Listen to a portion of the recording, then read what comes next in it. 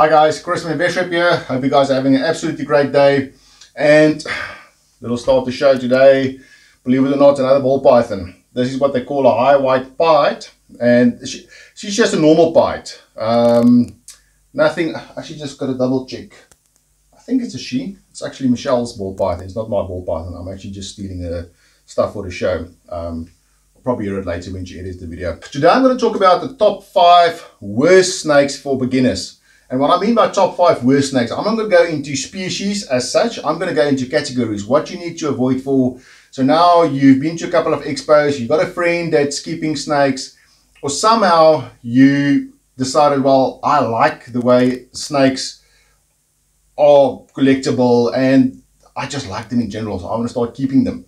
Here's the top five things you need to avoid as a first time keeper. And when I say first time keeper, um, within the first year or so, you've got to watch out for these snakes because you can probably start out with a good uh, beginner species. For example, one of the, the more favorable beginner species is ball pythons. I mean, the reason they're called ball pythons, this one's still a young youngster, and the younger they are, the, the more they tend to do it. But they actually form a little ball. They put their head in there so predators can't get to it. And these little pythons are ideal for, for beginners. Um, they've got a couple of warning labels on them in the sense of they love going on hunger strikes. And that will normally freak out a first time keeper. The other thing is they're not as super simple as colubrids in the sense of there's some basic husband requirements that you need to meet. But if you go watch our previous videos on sticking to the basics, you'll actually see if you stick to the basics and you've got your setup right and you've got your hot site and your cold site and you've got your humidity figured out, these guys are very simple to keep. Okay, but let's jump into the five categories and the five snakes you need to avoid as an amateur or as a beginner. I don't like using the word amateur. I've actually met more amateurs, first time keepers, got more knowledge from doing research on a species than guys have been keeping for three or four years. Um, the first category, venomous snakes. I know it sounds cool, it looks cool, um, and the picture in your mind of working with this dangerous venomous snake sounds pretty cool. I can maybe impress my friends with this. Not a good idea. Um, a couple of things.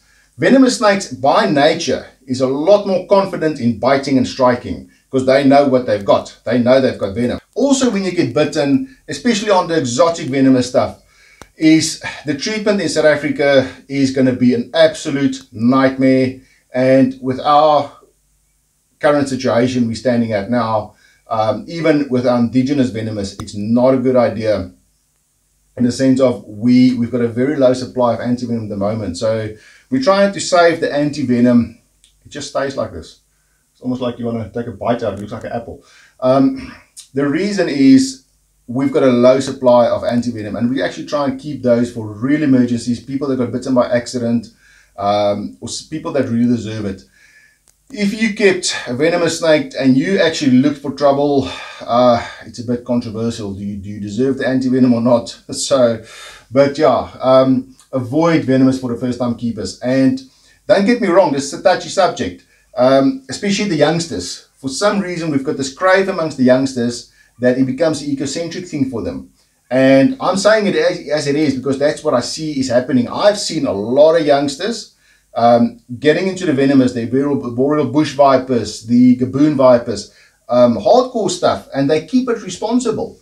Um, and they they work carefully and they, they put a lot of effort in it. If you look at them, they've got some past experience. It's not the first time that they went out and bought the most venomous snake. Um, but if you're out there and you want to start, and I think, oh, my first snake should be a king cobra, uh, we, we might have to do ego check on you, if that makes any sense. The thought of owning a king cobra or black mamba or anything that that highly extremely venomous sounds cool, it's not. All jokes and ego is going to go out the door once you get bitten. Then it's going to become a very serious matter. And to put your life on the on the matter uh, or, or, on the line for something like that, it's just not worth it. I'm not attacking the youngsters. I mean, I've seen older guys that go into the snake industry. He's got the money now, and the first thing he wants to buy is the most venomous expensive snake. Um, just, just don't do that. You're going to regret the decision down the line and you're going to end up hurting or even worse, killing yourself. So I do not recommend venomous as a first time keeping snake. Then the other thing, we don't, we go to the expos and we go online, we see pictures of something like this. It's cute, it's small, and it's just adorable. I mean, I don't I don't keep ball pythons. These are all Michelle's ball pythons. But I mean, even I have to admit this is cool. How big does it get? Okay, ball pythons different category, but um, boa constrictors, yellow anacondas, um, reticulated pythons. I love reticulated pythons. Um, especially the hatchlings. They are super cute. I wish they could stay that small because then I'd be keeping my entire rack system will be full of them. But reticulated pythons, you, you're ending up with a snake that's going to end up four and a half, five meters plus. Um, that's a big snake. And for every three, there's not really a rule of thumb, but I'll say for every three meters of snake you've got there, you need an extra handler. And if they do get hold of you from the three, four meter mark, they will rip you to shreds to the extent where you're going to go to hospital and get stitches. Um, a couple of my mates actually has got lifetime scars of stitches that's up to the bone. As I'm going along, I'm going to try and remember to put an insert in. So the venomous, venomous snakes. Okay. Um, the giants, boa constrictors, Burmese pythons, reticulated pythons, anything that goes over the three meter mark. Um, be very careful as a first time keeper. Um, for a couple of reasons. Number one is the size. The manage manageability of that snake becomes a bit more difficult as it gets bigger. Number two is space. Is you need to supply that snake with adequate space so it's not cramped. So you can't keep a two, three meter red python in a setup like this. You've got to grow the snake as uh, the setup's got to grow with the snake, if, if that makes sense. So you can't now buy a two meter enclosure for little hatchling Burmese or um, reticulated python, whatever you decide to get. You need to adjust as the snake is growing. Otherwise, you're just going to stress the snake out. But you need to get ready that you're going to end up taking up an entire room like this. And this is the reason I don't keep them. For me personally, they, they waste space. They take a lot of space up. Once we start our new facilities next year, then we'll look at reticulated pythons, and those will be purpose-built concrete cages for reticulated pythons. But personally, at the situation I'm in now, with our breeding rooms all over the basement here, it's just not going to be um, beneficial for me to keep them. And also, it's basically just me and Michelle. Um, but on the bigger, dangerous stuff, it's just me. So I don't want something, uh, I don't want to call a buddy the whole time. It's like, oh, okay, I've got to move Johnny to Python today. Can you come and help me? So be careful of the giants. Then the third category, I call these extreme environment um, snakes. So these snakes, to give you an example, a green tree python. A green tree python needs an extremely accurately set up uh, tropical um, environment. So your humidity has got to be above a certain humidity and it's got to be maintained above that. So I need to know at this stage my substrate, my heat levels, and people hear humidity and think, oh, well, I'll just chuck in a bunch of coconut husk in there, get it all wet and all sorted, and it'll be just humid. It's, it's not that easy. Humidity and moisture, um, in the sense of wetness, it's got nothing to do with each other. Something can be wet but not humid, and something can have a little bit of water and can be extremely humid. It's all how you control the ventilation, the circulation, and heating elements in that environment that will create that environment. And this goes on the other side of the spectrum as well, your extreme desert dwelling species. Um, stupid example, um, horned adders, many horned adders, they're not as simple as people make them um, they can be number one, they're venomous. Number two, if they get humidity, the same levels as what a ball python would get, they're going to start running into respiratory infection problems. Um, so, them you've got to put in extremely well ventilated areas. You've got to keep the water bowl well away from the heat source, not to create extra humidity. So, this is what I mean by extreme um, temperature or extreme environmental different different snakes. So your tropical and your desert, not a good keeper. What, what you want is you want a snake that can actually survive in both environments. Um, for example, most king snakes and corn snakes, they can do a, bit of a humid or a bit of a dry setup. It doesn't really affect them. It doesn't have to be the one extreme to the other extreme. Um, with some snakes, they need to stay outside that middle boundary, either in the humidity side or in the dry side. If that makes any sense what I'm saying. So get something that is pretty versatile in the sense of the environment that, that, that it needs to stay in. Um, a stupid example stuff we've got that falls in that boundary is spotted pythons and our children's pythons. They can be arid and they can be humid species. I've kept them under both conditions and they thrive under both conditions. Not over 80% humidity, not on 20% humidity, but they can stay close to those boundaries and still do well from, let's say, the 40 to the 60, 70% humidities. Um, not a big issue for them whatsoever. This is a subject for South Africa exclusive, but the one is international as well. Watch out for wild caught specimens. Wild caught specimens can either be imports or it can be stuff that's been caught out of the wild locally. Um, let's cover the first one, imported wild caught specimens. You take, for example, Boagas, Emerald tree boas, um, the list goes on, especially more the high-end stuff. If you get a high-end thing for a little bit cheaper than what you would normally pay, you can already start questioning mark, uh, questioning the whole transaction. Wild caught specimens, number one is parasites, number two is they acclimatize pretty difficult in captive environments. So you got to know exactly how to figure that snake out. And that's more for the advanced keepers. Do not start playing with a wild caught snake on your first try. And also for the South African stuff, there's a lot of stuff. An example, when I started out with snakes, I couldn't understand. I would get a puff adder, wild caught from the Western Cape, have it up and established in our Northwest Province facility and they would belly up within a year. And I just couldn't understand that. And if a snake, if we get one or two mortalities a year, I'm up in arms. And I couldn't understand why puff adders of all things is now messing up my mortality rate. And then I started speaking to other expert keepers and I realized they've got the same review, is your coastal puff adders doesn't do well on inland um, as what our puff adders there, for example, would do. So um, brown house snakes even, even the easiest snake that we can get and get our hands on wild caught, um, can be difficult because they, number one, what was their diet, uh, whether on geckos and lizards, uh, well, good luck getting them onto mice, you're, you're going to struggle.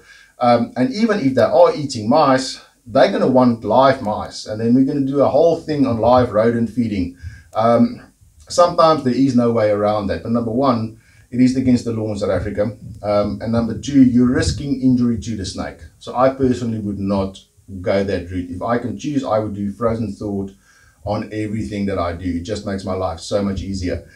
And also the permit issue. So if you've got a wild caught specimen, the only province that exempts you from that is the Natal province. Um, that is good and bad because now you're thinking, ooh, Natal, I must need to move there because now I can keep all the snakes I want. The problem is you can only keep it in that province. You can't just get it out. There's a lot of, there's some paperwork you need to do to get it out. Um, where I am in the Western Cape province, we need a permit from a corn snake all the way up to a Boelen's python. It's, it's absolutely ridiculous. But the good thing is I can basically take my snakes everywhere in the country. And we do have some indigenous stuff here. We've got some Aurora house snake. We've got some um, horned adders, many horned adders, Berg adders that we busy up. We're actually getting in some uh, red adders, the Bitis Um, great snakes to work with, small little vipers, but they're all on permit. Um, and I had to get them from a facility in the Northwest province that already had them on permit. So I can't just go catch a snake out of the bush and now apply for a permit because I need something they call legal proof of origin. I need to prove that that animal was obtained legally from a legit collection. The last little point you got to watch out for. You get snakes like ball pythons, corn snakes, most king snakes, uh, even your milk snakes, that is calm by nature. Um, if you do get a bitey ball python, you're going to calm him down eventually.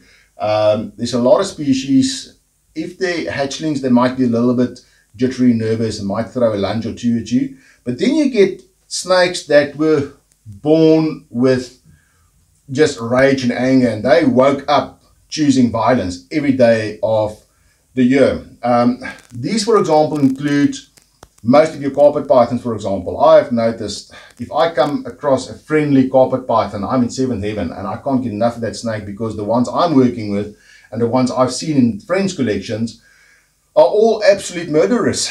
They want to kill you all the time. And I'm not generalizing, but they are more aggressive in nature. Green tree pythons, emerald tree boas, blood pythons. Blood pythons doesn't have that name just because they uh, look cool. They've got a, they're called blood pythons for a reason. So you get snakes that is aggressive by nature. And that is the Omnisonio. I can't now go and list every single species, but on the top of my head, um, go Google it. Um, if, if I think of our collection, if I just go through here, the spotted in the children's, they're pretty calm. Um, Amazon tree boas, they're born with an axe in the hand. They just want to kill you all the time. Um, controversial little snake, um, uh, Ochi locality and Galen dwarf pythons.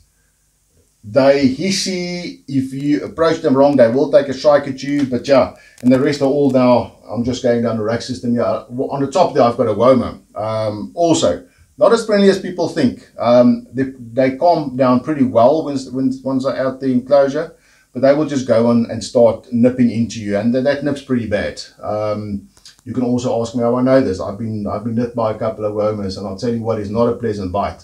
Um, a defensive bite from a ball python like this, it's not this not not that bad at all.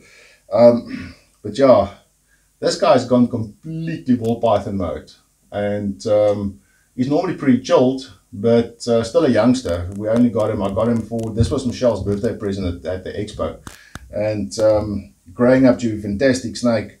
But yeah, um, this actually it's actually not a good sign. It means he's stressing out. So I'm gonna end this show, and I hope this helps for if you're in the market for a snake and you're a new keeper, what to avoid, what to look out for, what not to do. Um, and we're actually going to do a whole series within the next week or two on the top five best snakes to look at category wise. Okay guys, so please remember to like and subscribe our channel. Hope you enjoyed the show. If there's anything you want to say, leave it in the comments and we'll get back to you as soon as possible. Guys, have a great day. Cheers. Bye.